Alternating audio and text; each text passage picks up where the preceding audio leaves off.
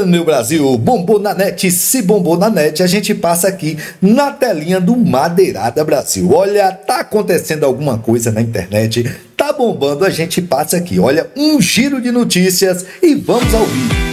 A deputada Jandira enfrentou Bolsonaro na CPI dos golpistas e chamou ele de mentor do golpe e defende indiciamento. Sem anistia. Há provas de que as pedras preciosas para Bolsonaro foram escondidas afirmou na época Jandira. Eu acho que tem um buraco, de fato, e tem uma, uma, uma ação proativa de determinados grupos fundamentalistas que não são exatamente é, as religiões clássicas, né, dos evangélicos, dos católicos, dos budistas, da matriz africana e tal, que observam a religião como um projeto de poder. É uma, é uma atitude diferente. Constrói uma igreja para ter um projeto de poder, para ter um candidato para eleger e defender determinados valores que se vinculam com essa base que construiu a igreja com ele. Né? Então eu penso que não só o Estado falhou, em muitos momentos falhou, né? É, a ditadura falhou, a concentração de renda e a desigualdade, ela é algo marcante na sociedade brasileira. Porque é ali que pega também, né? E enquanto tem desigualdade, não tem democracia plena. Né? A desigualdade racial, a desigualdade de gênero, a desigualdade de classe, né? do acesso aos bens e serviços. Então, se você chegou a ter 33 milhões de pessoas com fome, você não pode dizer que está num país democrático. Né? Então, é, quando a igreja presta serviço, às vezes até funerário, né? um caixão, para enterrar um ente querido, isso tudo acaba tendo um poder de sedução de permanência e as cabeças vão sendo feitas a partir dessa liderança de igrejas fundamentalistas. E o que, que a gente faz com isso? Eu acho que nós temos que ganhar a consciência da população, para ela compreender que religião é religião e política é outra coisa. Né? O Estado é laico, então nós temos que legislar para todas as pessoas, independente da sua religião. E não pode uma religião dominar determinadas. Não pode a religião determinar nenhuma lei. Nenhuma lei pode ser determinada por uma religião. Né? Então, o que, o que contrapõe isso é a gente conseguir, com pastores progressistas, padres progressistas, eles é que fazem a homilia, eles é que fazem o culto, né, para poderem compreender o papel da igreja na formação da sociedade, como foi a teologia da libertação, como foram que ganharam consciências para a organização popular. Uhum. Mas nós também temos que ganhar as consciências e maior organização popular, para que as pessoas lutem por seus direitos, independente do que pensam e da fé que têm. Cada um tem a sua fé, isso é Liberdade de culto, liberdade religiosa, nós vamos defender até debaixo d'água, sempre. Mas não pode a política e as leis serem definidas por uma religião. Você acha que a gente perdeu um pouco a praça pública também? Porque se você pegar dos anos 80 e 90, ainda tinha as grandes greves, o pátio da, da indústria de automóvel e tal, isso um pouco se diluiu, né? A grande praça pública agora está aqui na nossa mão, né? Você acha que a gente está muito, assim, a esquerda está muito atrás disso ainda ou está equilibrando o jogo? Não, eu acho que, assim, você veja, no, no, vamos pegar aqui as eleições de 2022. Hum. Eu acho que teve três fatores de vitória. A grande mobilização popular, que nós conseguimos fazer, a frente ampla, porque também era em torno do Lula, que é a maior liderança que a gente tem. Então, Você acha que se não fosse o Lula, não, eh, seria muito difícil ganhar? Fazer a frente ampla, sim. Mesmo com tudo que foi feito? E a mobilização popular muito em torno do Lula. Tá. Né? Então, assim, em determinados momentos, teve o tsunami da educação. Muitas manifestações em pleno governo Bolsonaro né, que impediram, inclusive, da gente ter retrocesso. Uhum. Muitas manifestações de área sindical. Só que, como eu disse, o capitalismo, como ele é contraditório com a democracia, ele desregulamenta o mundo do trabalho. Ele desregulamenta isso, ele tira muitos direitos e asfixiou financeiramente os sindicatos. A derrota do imposto sindical, ele estrangulou financeiramente o movimento sindical. Isso não foi por acaso, foi para estrangular mesmo. Né? E tem um outro fator que nos faz não ter mais as fábricas do ABC, que é a automação, é uma outra forma de produção. Né? A produção hoje ela, é, ela é, reduziu a, a, mão de obra. Isso é uma coisa a ser pensado. O que é que se faz para as pessoas não perderem emprego? Uhum. E muita coisa foi para a ponta da tecnologia. As pessoas trabalham de casa, né? O, home, o chamado home office uhum. que a pandemia intensificou, uhum. mas isso já estava existindo e vai continuar existindo. Isso aí não tem muita marcha ré. Então nós temos que pensar como organizar as pessoas a partir desse novo momento, dessa nova novo formato de mão de obra no Brasil. Teve uma cena em 2006 que eu queria reviver ela um pouquinho aqui, queria que você pensasse sobre ela e explicasse o que, o que você viu e o que você vê se, se parecem nos mesmos Brasis. É, era uma candidatura sua ao Senado, pelo Rio de Janeiro, e você acabou se envolvendo num projeto de lei que queria garantir minimamente atendimento no SUS para as mulheres, por exemplo, vítimas de estupro, que pudessem abortar, basicamente para cumprir a lei, né? Dentro do SUS, sem Código. Penal de 40. Código Penal de 1940, é. exatamente. E aí, a sua foto foi pregada em portas de igreja no Rio de Janeiro inteiro né? Totens com seu tamanho, né? Aliás, gastaram bastante dinheiro porque a Jandira é grande, viu, gente? É enorme. É, com uma faca na mão, isso. assassina de bebês, aquela coisa toda. envolveu literalmente até o Papa, porque isso chegou no bispo, né, do Rio de Janeiro, isso chegou até o Vaticano. E aí, no meio daquela confusão toda, você estava liderando a, a, a, a corrida por 17 pontos. Um domingo antes da eleição, o seu nome é citado nas missas todas do Rio de Janeiro, como sendo essa pessoa que nós acabamos de escrever agora aqui. Isso é 2006, uhum. quase duas décadas atrás. Me parece hoje. Você, você consegue olhar e falar, gente, a gente piscou o olho e está no mesmo lugar? Eu acho que está até pior, nesse sentido está até pior. Eu digo, eu sou a primeira vítima de fake news no Brasil. Não existia o WhatsApp, não existia Facebook, não existia isso. Foi tudo por SMS. Né? Na, na fila de votação, as pessoas recebendo recados no seu celular, toda a rede, Oi e Rede Team, toda a rede. Inclusive, gente no exterior recebeu, que era a rede inteira, colocando isso. Andira é assassina de criança e tal. Uma... Então, isso aí, obviamente, impactou, teve interferência. Eu estava 14 pontos 14. na frente no sábado à noite, no domingo eu perdi a eleição. Então, assim, eu fui a primeira vítima de fake news nesse país num processo eleitoral, né, em 2006. E hoje o que eu vejo, assim, é, é, que existe, existem novas organizações que 2006 não tinham, não existiam. E o Rio de Janeiro tem as principais sedes dessas igrejas. Não é por acaso, acho que ali teve um vácuo político mesmo depois do Brizola. Sim. Né? É, então, eu acho que hoje você tem multiplicação dessas organizações e estão mais organizados na política. Mais organizados. Se você ouve os discursos de plenário de algumas mulheres e de muitos homens, Hoje eles têm bancadas mais estruturadas, têm mais é, pluralidade de organizações e maior impacto na ponta por conta da comunicação. E tem mais dinheiro também, parece. Né? Mais dinheiro, acumularam dinheiro. Jandira, é, você relatou a Lei Maria da Penha. Sim. E a gente já tem aí muitos anos da Lei Maria da Penha e com essa esse surgimento, esse surgimento não, essa saída da extrema direita para o campo de batalha, uhum. a gente não viu só no Brasil, a gente viu na Argentina, na Itália, na América do Sul, tá uma maré difícil. Exatamente. Né? E alguns países da Europa também. Exatamente.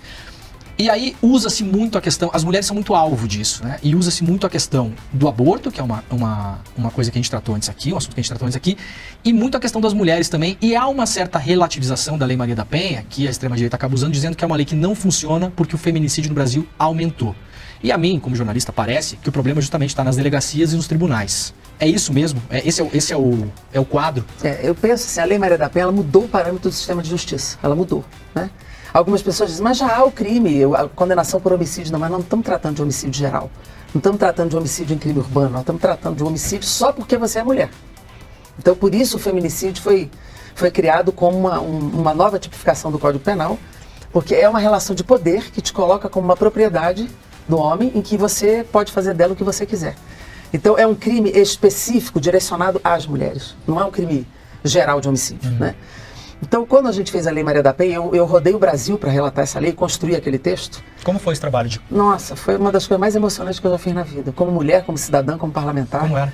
Porque nós fazemos audiências públicas em todas as regiões do Brasil e a gente ouvia as mulheres que foram agredidas, ouvia as instituições e ouvia muita proposta.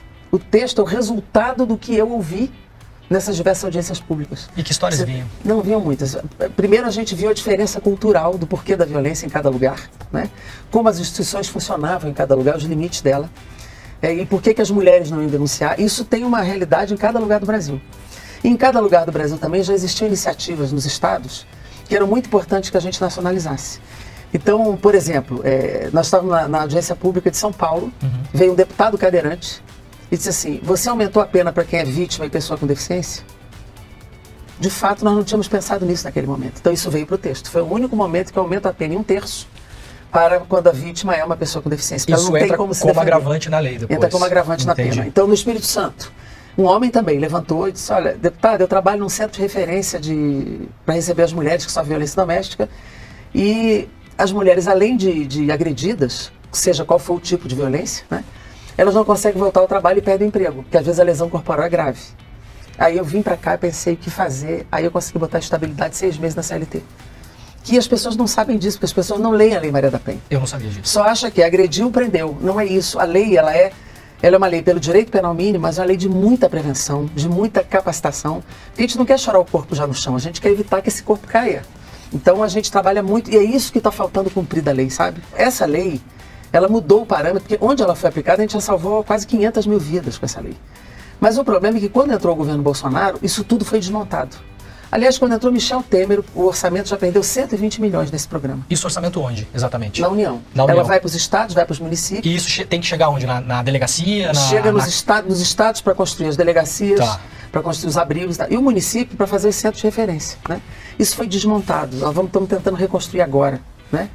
Então, é uma lei, assim, se a gente não atuar na prevenção e na capacitação, no magistério, como é que as crianças trabalham preconceito nas escolas? Como é que a gente muda a cabeça? Tem que ser na escola. Mas você tem que capacitar o magistério, porque tem muita gente que reproduz o status quo. Então você precisa capacitar o magistério, capacitar os agentes de segurança, capacitar as delegacias, porque ela tem muita mudança de atendimento em 24 horas, a questão advogado não advogado. Tem que criar as varas. Tem o dinheiro, o Poder Judiciário tem que botar orçamento para criar vara especializada. Não está mais na, naquelas juizados especiais, que ali era aquele acordo de, de cesta básica. Isso aí eu tirei de lá. Não tem mais cesta básica na lei. Então é, uma, é um processo de construção, de estruturação de aplicação da lei que exige prioridade, cuidado e orçamento dos três níveis de poder e do Poder Judiciário. Quero falar um pouco de Palestina. Primeiro, me solidarizar. É, para as pessoas que não sabem, você tem família é, no Líbano. Ainda, ainda estamos falando de um, alguma coisa que está controlada, ainda não espalhou para toda a região. E pode destabilizar muito rápido ali também as toda coisas acontecem, né? Então, é, me solidarizo antes de mais nada. E como você está vendo isso? Parece um filme que se repete, se repete. Israel, em 2019, já começou a ser investigada pelo Tribunal Penal Internacional por crimes de guerra. Em 2021, o gabinete do Netanyahu falou que não ia colaborar com as investigações, que o TPI não tem gerência sobre aquilo. Agora a gente está vendo o que está acontecendo em Gaza. Como é que você está vendo isso? Como é que a gente. Então, tá, de novo, parece, é, né? Esse processo histórico, eu acompanho essa questão desde a década de 90. Eu, inclusive, entrei na luta pela libertação da Lâmia, que era uma Palestina presa política há anos, né? Israel, sem ver filho, sem ver família, sem ver ninguém. E a gente conseguiu, por um movimento internacional, libertar a Lama. Inclusive, fui recebê-la no aeroporto. E foram anos de luta sobre isso. E depois, como parlamentar, eu fui me envolvendo na causa, porque eram poucos os que se envolviam naquele momento. Eu cheguei aí, só eu e Ayrton Soares. Ayrton nem era mais deputado nas reuniões da ONU.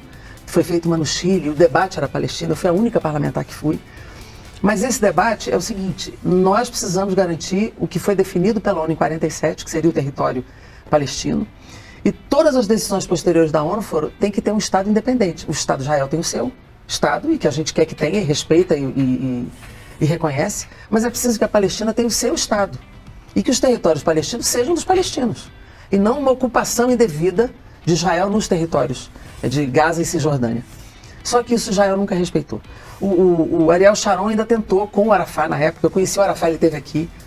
É, os dois ainda fizeram um acordo começaram a fazer a desocupação e tal. Com a mudança de governo, os processos eleitorais também internos, que a Palestina também é dividida. O Fatah, que é o partido da OLP, do, do Arafat, ele não, não, ele tem comando, tem domínio, mas na faixa de Gaza, por exemplo, o Hamas ganhou majoritariamente as eleições. Então você tem, é, você não tem a maioria da população que concorda com os métodos do Hamas, não concorda, a maioria não concorda, mas há uma divisão dentro da própria Palestina. Israel, num determinado momento, para esvaziar, inclusive, eu estou falando do governo, não do povo, né? para esvaziar, inclusive, o acordo de paz, acabou fortalecendo Hamas. E hoje você tem uma Palestina assim. E Israel nunca, depois do Netanyahu principalmente, e essa segunda versão dele é pior do que a outra, né? ele faz questão de não reconhecer o Estado palestino, de expandir as ocupações, que são e, são, e são muitas violências. Muita violência de todo tipo. Violências de agressão mesmo, que eu lembro daquelas cenas do pessoal jogando pedra e ele jogando bomba, uma população desarmada. As mulheres tinham filho na rua porque não podiam atravessar para ir ao hospital com aquela fronteira fechada. Isso, deixar claro, isso só para deixar claro, isso não é de agora, isso vem antes. Não, já vinha, já, já vinha, já vinha. E como todas as resoluções da ONU pelos não são cumpridos, isso acaba abrindo o caminho para as ações que aconteceram Agora, que ninguém apoia, obviamente, ninguém quer violência de lado nenhum. Chegou até aqui, se inscreva no canal, deixe o like e vamos para mais vídeos.